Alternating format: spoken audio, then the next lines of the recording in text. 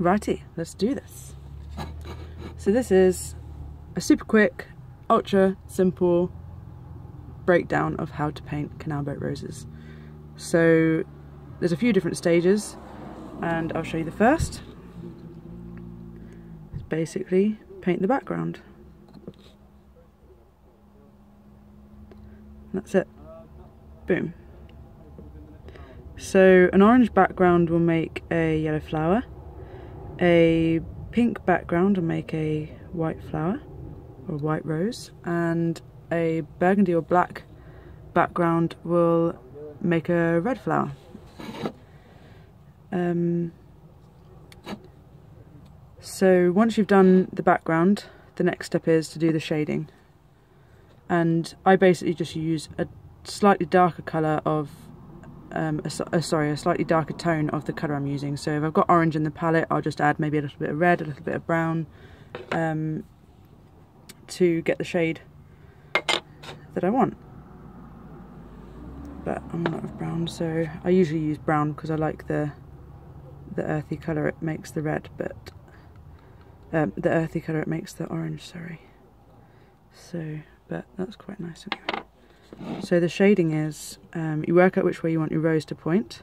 So I want to have mine going the same way as that one. So I'll just have it there. And this is the centre shading of the rose. And then just a little bit down at the bottom like that. Now at this stage you want to let all of that dry so um, do things like the border, do things like your leaves um, and then just leave it because if you try and paint over it as you know the paint will go all smooshy. So a traditional standard sort of um, border that you see on quite a lot is what I call the I call it a jumping fish because I think it looks like a jumping fish. But just like that. That creates quite a nice block of colour and then you can go along and add smaller details in between to make it more interesting. Obviously using different colours. I sometimes put little white dots down these down these flicks but that's quite a nice border like that. So I'll show you how to do a leaf and then quickly I'll show you how to do the petals.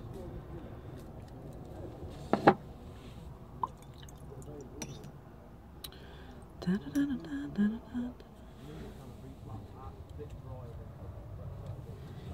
the green gone? There he is.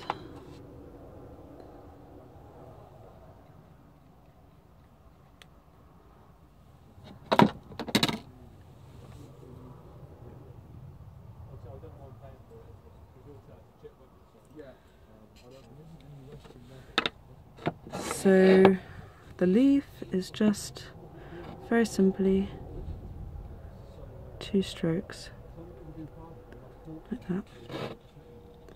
And then I like to put in different sizes just so that it makes it look a little more natural. And then all I do to add detail um, is a vein, so something like that, and a I sometimes do two, maybe different colours, um, so a lighter, lighter green on top of that.